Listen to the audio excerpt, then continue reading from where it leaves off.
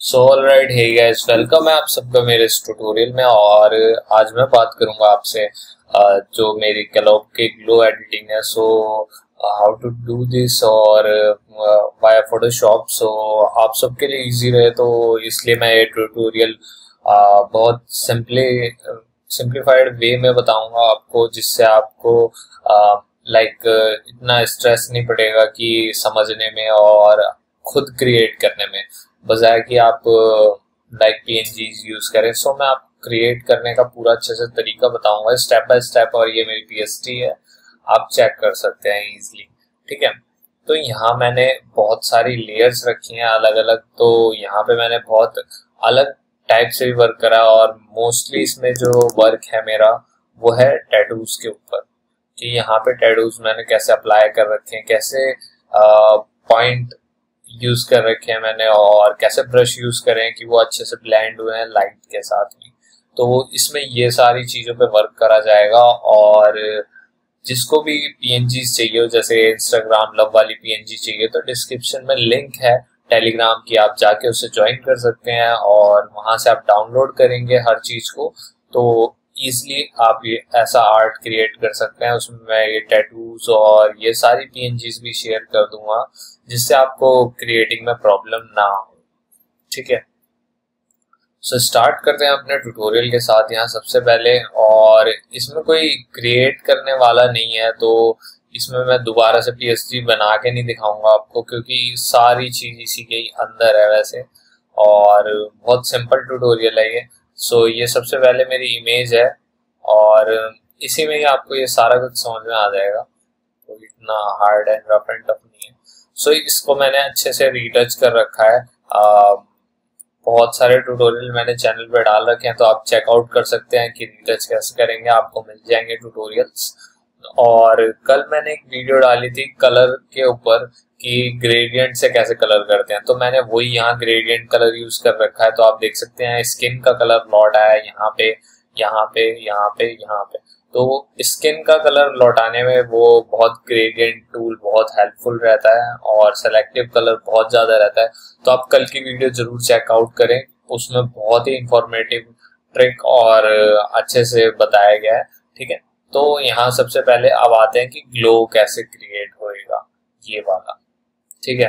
तो यार बहुत ही सिंपल तरीका है। जो ये लेयर है, आपको इसी को डुप्लीकेट करना है। कमांड जे प्रेस करके, ठीक है? और फिर उसको ओवरले ब्लेंडिंग मोड में कर देना है, ठीक है? जैसे आप ओवरले ब्लेंडिंग मोड में कर दोगे, उसके बाद यहाँ आपने एक न्यू लेयर क्रिएट करनी है, ठीक है?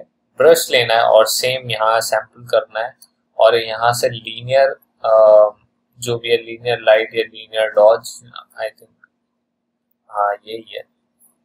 तो आप जब इससे, इस पे पेंट करेंगे तो आप देख सकते हैं वो आइकन कैसे ग्लो हो गया। लाइक जादू की तरह बिल्कुल। और कुछ मैंने हाई फाई करा भी नहीं है।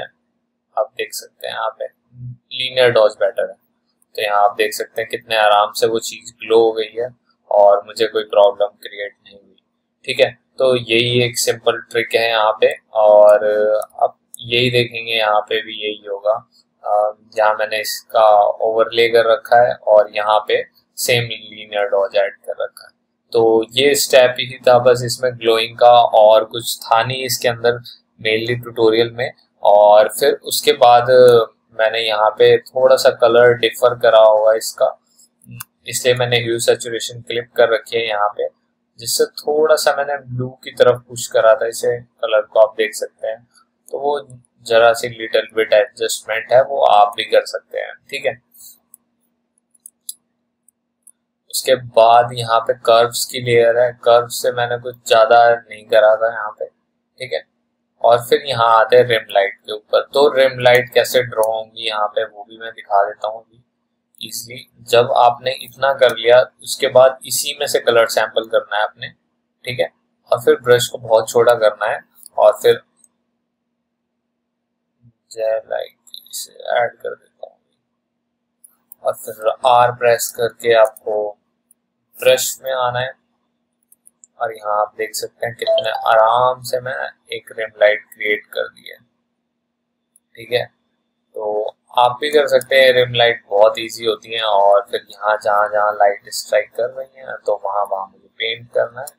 और ये मेरे पे पहले से गाइड लाइट है।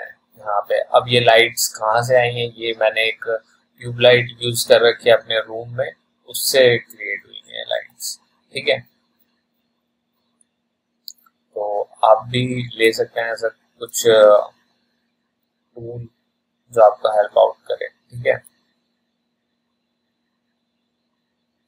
आप देख सकते हैं कितने आराम से मैंने एक लाइट बिल्ड कर दी है और बहुत ही कम टाइम में मैं अब रिम लाइट ड्रॉ कर लेता हूँ।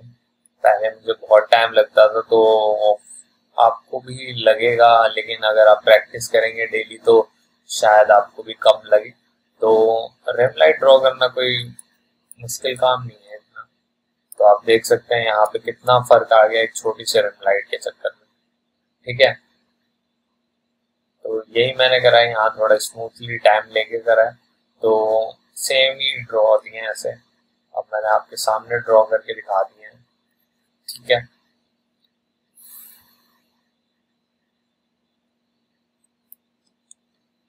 उसके बाद यहाँ पे थोड़ा सा ग्लो इफ़ेक्ट क्रिएट करा है मैंने।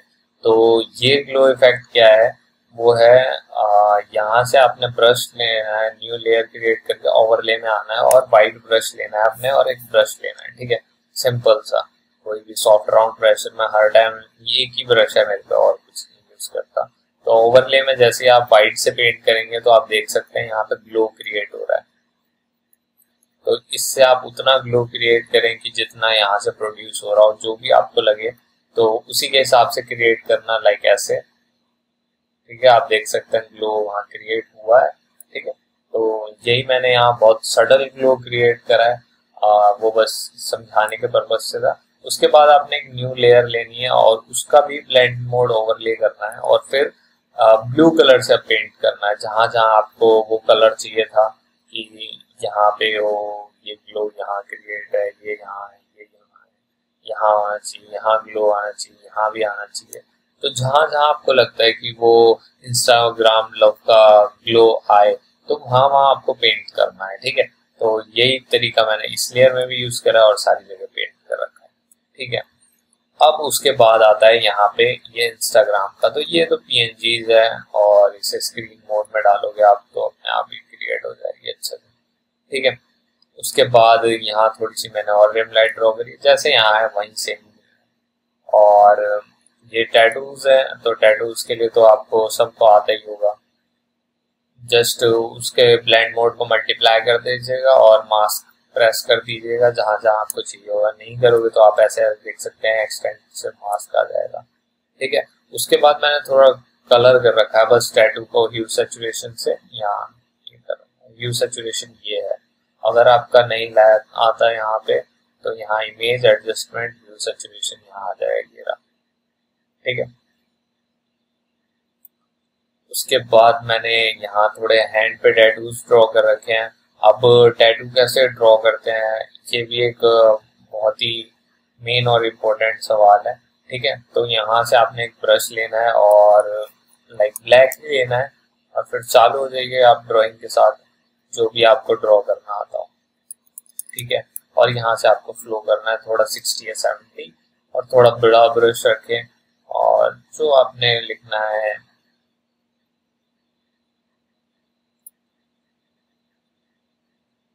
जो भी आपके हाथ पे आपको ड्रॉ करना है, आप कर सकते हैं। ठीक है? तो आप देख सकते हैं मैंने यहाँ थोड़े ही टाइम में टैटू ड्रॉ कर लिया है। ठीक है? तो आप भी यही अपना के ऐसे ही टैटू इधर उधर ड्रॉ कर सकते हैं और जस्ट ब्लेंड मोड अप्लाई करके देखें जो भी आपको कलर चाहिए हो। जैसे मुझे ब्लैक कलर नहीं चाहिए था, मुझे ग्रीन कलर के चाहिए थे तो मैं ग्रीन सेलेक्ट कर रहा था। आप कलर ओवरले डाल के भी चेंज कर सकते हो। ठीक है? तो इन्हें मैं कंबाइन कर देता हूँ कि आप कंफ्यूज ना हो टैटू नाम से। दिख लिया ओ ठीक है? तो यहाँ पे डाल दिया ये। ठीक है? उसके बाद यहाँ पे मैंने फ़ोन में ग्लो डाल रखा है। ग्लो नहीं है, वो जस्ट एक वॉलपेपर है और उसे मैंने यहाँ पे अरेंज कर रखा है। अरेंज कैसे करना होता है? जैसे आपने वी प्रेस करा है तो आपके कंट्रोल बटन होते हैं। आप कंट्रोल प्रेस करेंगे और माउस से कहीं भी मूव करेंगे तो ये मूव हो जाएँगे। ठीक है?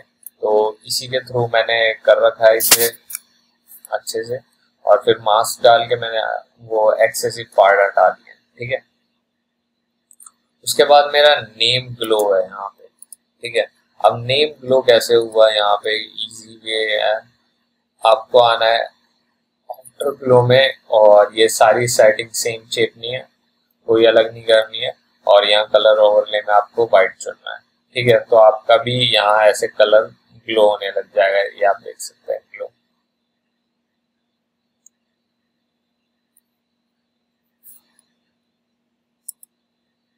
फिर उसके बाद एक main adjustment layer at the end वाली होती है, जो ब्राइटनेस एंड कॉन्ट्रास्ट की होती है, वो आप डाल दीजिए और ऑटो प्रेस कर दीजिए।